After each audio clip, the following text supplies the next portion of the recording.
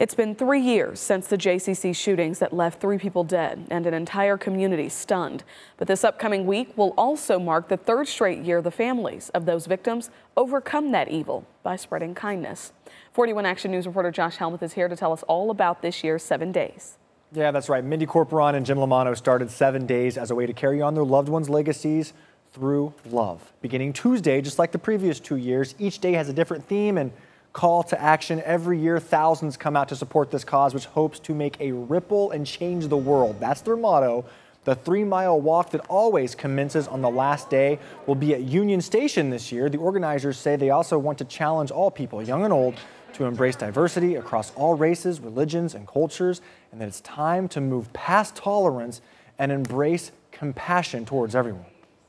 We've talked about tolerance for years and um, being politically correct and having tolerance of people, and that's not working. We, we need to have understanding.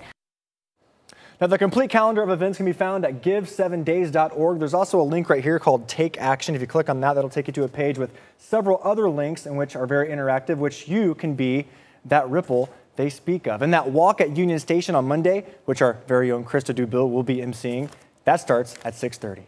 In studio, Josh Helmuth, 41 Action News.